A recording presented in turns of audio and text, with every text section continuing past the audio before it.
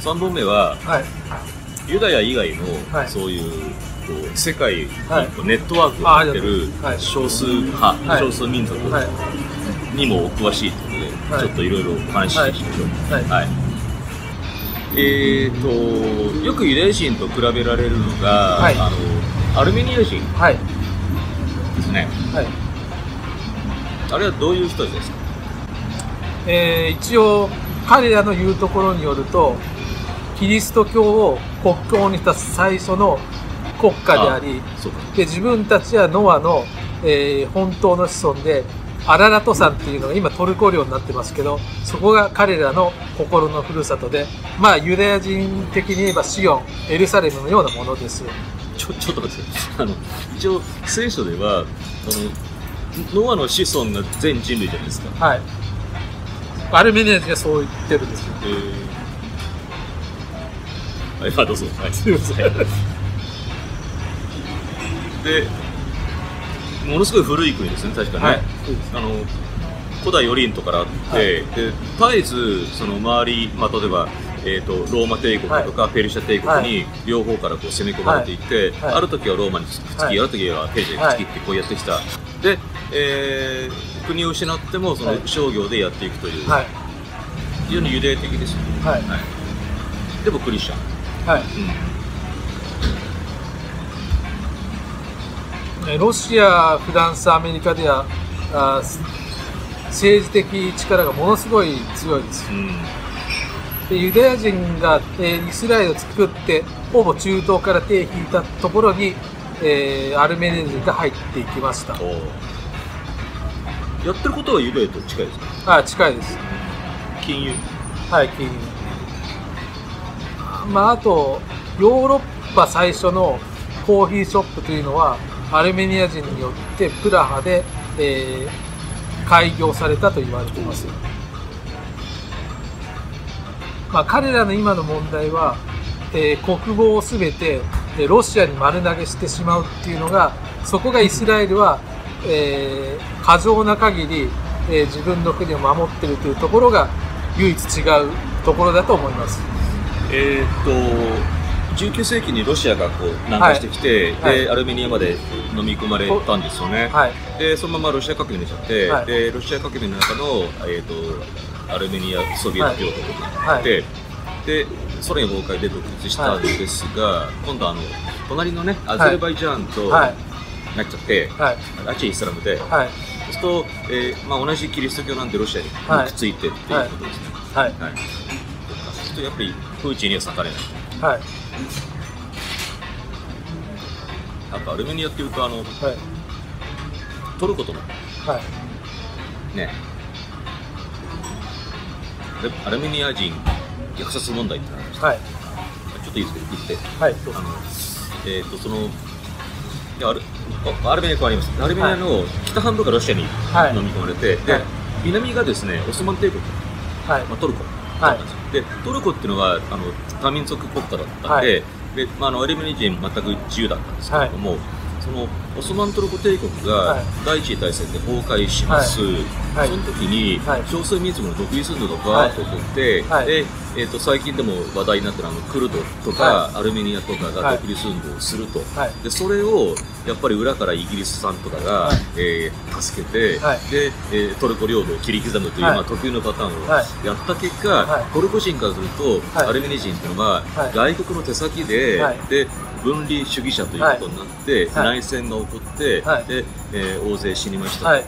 でこれについてトルコ側は、い、やそれは内戦の犠牲者だと言ってるんですけども、はい、アルメニア側はこれはあのホロコーストに匹はい、敵する、ジェノサイド。ジェノサイドと言ってる、アルメニア人がはい。世界に広まっちゃってるんで、はい、あのイギリスやフランスやはい。アメリカの議会に働きかけて、はい、なんか決議してますよね。はい、知ってます。まあ、トルコが今、元気でいられるのも、アメリカとイスラエルが、そのアルメニア人ジェノサイドを、えー国会で、えー批准、法律を批准してないからであって、まあ、トルコ人もアルメニア人も友人知人がいますが、まあ、それぞれの、えー立場があって、えーアメリカ、イスラエルがトルコを支援する限りは大丈夫だというのがトルコ人の意見ででアルメニア人にとってそれが非常に不満だということです。でその辺から今度逆にそのトルコのナショナリズムに火がついちゃって、はい、であのエルドアン大統領が、はい、ね、アメリカを、と離れて、なんか NATO を抜けそうな気配で、これ非常にやばいですやばいですね。レッドチーム入りそうですね、ね、でトルコはレッドチームに入っちゃうともうプーチンが出てきますからね、はい、やばいですね。やばい。ですねああとなんか例のあの慰安婦問題に絡んでるっていうアルメニアがちょっと教えてた、はい、これはカリフォルニア州のグレンデールというところにたくさんのアルメニア人移民が住んでます、えー、韓国はクリスチャンが多いということで、えー、韓国にうまく乗せられて慰安婦像が一番最初にアメリカに立ってしまいますこれもやはり日本が、え、地球儀を見て外交してなくてアルメニアの重要性を全く、え、無視しているからだと思います。まあ、アルメニア人個人はなかなか、え、勤勉で、え、真面目な人たちが多いのですが、これが一つ宗教とか政治の単位になるとなかなか厄介な問題になってしまいます。じゃあ次は、えー、ギリシャ人ギリシャ人って古代はすごかったけどもなんか最近借金抱えてパッとしてないイメージがありますが、そうでもないですか？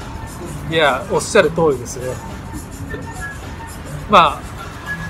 ギリシャを無視できないところは、はい、えー、海運国なのでたくさんの船乗りが世界中に行って、えー、そこの、えー、土地の女性と結婚する人が結構いるのでえー、ギリシャの語学学校というのは国連規模の女性たちが集まるということを言われてます。ただ時々州と小州とのいびりにあって離婚してしまうこともあるようですが、えー、残念ながら、えー、中国に、えー、ピレオス港とかを買われてしまいましたが、えただ鎮中だけじゃなくて、え結構多くのギリシャ人は日本に日本のことをよく思っててくれて、え同じ、え海洋民族で歴史が古いということで、え日本文化の愛好者は結構います。はいまあ、あの真鍮ばかりでないということだけはギリシャ人の名誉にかけて一言を付け加えています。古事記なんか教えたら共感するかもしれない、ね、あしますね。ね、まあ、日中同祖論の話をするとむしろえー、日本人の友人はギリシャのギリシャ神話の方が日本神話に近い近いというふうに言われてしまいます。まあ、私も、えー、クレタ島のに描かれてる絵とかを見るとやっぱり縄文の日本となんか一脈通じるようなところがあります。けばけばしくなくてシンプルで自然の美しさみたいなものを描いているところは、えー、好感が非常に持てます。ギリシャ人の国民性ってのは何かあります？悪いところはですねまあ勤勉なんですけどなんでユダヤ人と比べてこう劣る失礼な言い方になりますけどこれはもう私のギリシャと日本のハーフの友人が言ってたんですが肝心要の時になかなかギリシャ人は、えー、組織的に協力できないと言ってます。それはもっとひどいのはアラブ人です。あそれねあのギリシャの独立戦争の時常に中でこうやってるんですよ、はい、そうそうそうそうただ彼らの名誉にかけて言っておくことは、えー、第二次大戦イタリアがギリシャを攻めた時に返り討ちになりました、はいはい、そう。まあイタリアが弱すぎるっていう。そうですね弱すぎるです。ね エチオピアにねね。原始的な武器で負けたんですよね。いやいやあの時はねあのエチオピアの側にフランスがついてるんですよ。それから、うんと、インド、まあ、インドはね、まあ、多民族国家ですが、はい、その中で特にその商業的に成功しているグループがいて、はい、パールシー、はい。はい、でもともと古代ペルシャがゾロアスター教の国でササン朝ペルシャって、はい、それがイスラムに滅ぼされてい。て、はい、その時の、はい、避難民が海を渡って、でインドの西海岸に渡っていって、ムンバイの辺りに行って、であペルシャ出身だからパールシーって言われたんですよね。であの僕前に動画作ったけどもあのクイーンっていうバンドのフレディ・マーキュリーっていうボーカルが、はい、あの実はパールシーそうですね。彼パンジャブですよ、インドはインドはまあ多神教だからあんまりそういう宗教差別はないのかな。ないですね、うん、まあ思うのはマイノリティっていうのはやっぱり人人一倍努力しないとあの勝負ができないからかなりあのハンディを背負って頑張ってると思いますね。で子供に投資して教育はがっつりやると、はい、まあ、タタ財閥有名ですよね、うん、でルクセンブルクの鉄鋼会社を買収して、でインドのムンバイに限らずイランにもまだある一定の、えー、ゾロアスター教徒たちが住んでてで多くはイラン革命の時にフランスやアメリカに逃げてしまいましたけどやはり、え、世界的な規模でのネットワークは健在なようです。これあくまでも噂なんですが、え、2012年から14年の間なんですが私の住んでる、ま、隣町にイラン人のカーペット屋さんがあってそこのイラン人が、えー、日本にも千葉にパルシーの、えー、コミュニティがあったはずだという話を聞いたんですが確認してないので分かりません。私自身はフランスで、えー、語学研修した時にえー、ファルシーの方にたくさんお世話になって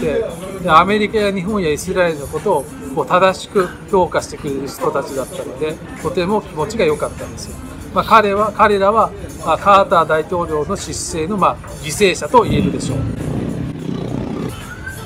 マロン派はレバノンはい、はい、カルロス・ゴーカルロス・ゴーのレバノン、はい、マロン派についてお願いします、はい、えー、マロン派は十字軍の時代に、えー、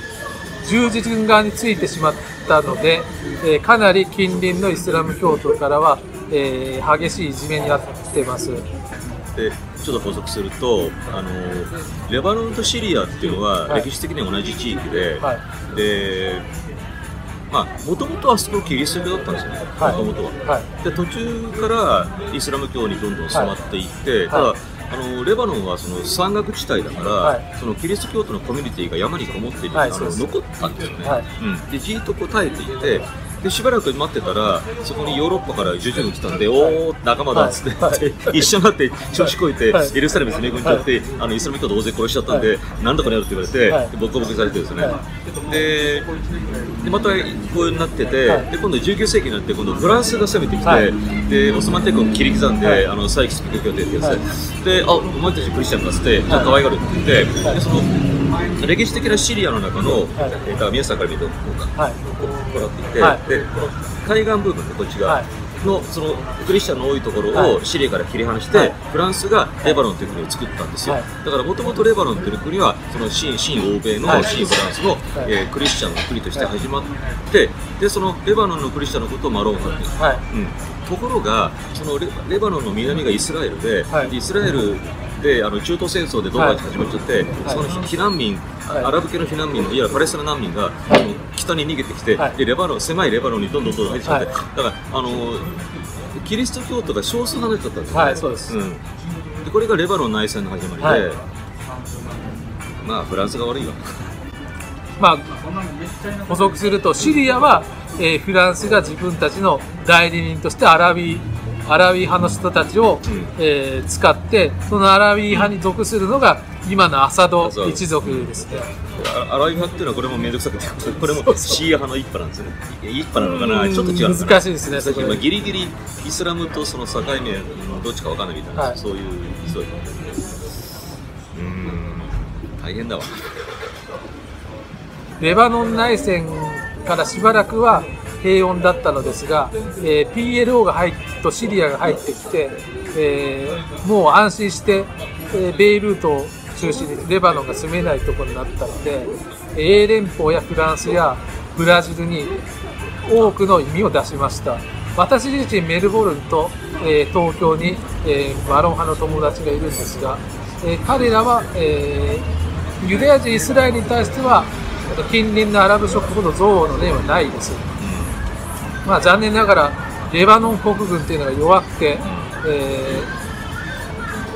まあ、シリアの思い通りになってしまったというのでとても気の毒に思っています。さらに、えイラン革命のせいでえー、パーレビ時代はイランのシーア派というのは新イスラエル勢力だったのですがイラン革命を機に、えー、変変化してしまい今ではヒズボラが、えー、ヒズボラというのはレバノンのシーア派の民兵組織です彼らがもう政治力を持ってしまったためにますます、えー、レバノンのマロン派キリスト教徒は海外に流出してしまっているのが残念ながら、えー、現状です。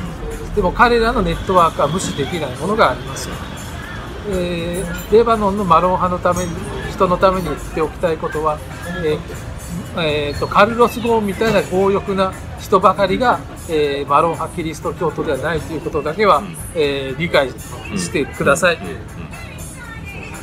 まあ、それはユダヤ人が全員グローバリストじゃないっていうのと同じことはい、そうです。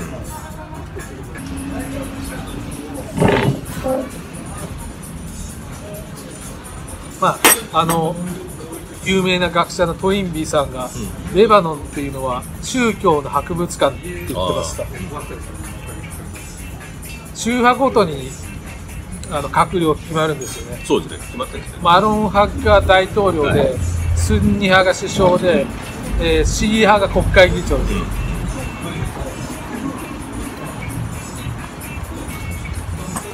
す、うん。レバノン初期の内戦の時はかなりアメリカが援助したけど、ええ、だんだんそれできなくなっちゃう、はい、でこういう人たちっていうのは世界中にネットワークがあってで情報をたくさん持っているから、はい、それを日本の外交に使えればそう。すごいいいと思いますいいと思いますね、うん。そういうのをうまくやってるのがアメリカであったり、うん、イギリスであったりフランスなんですよ、ロシアもそうです、一旦これ一旦切りましょう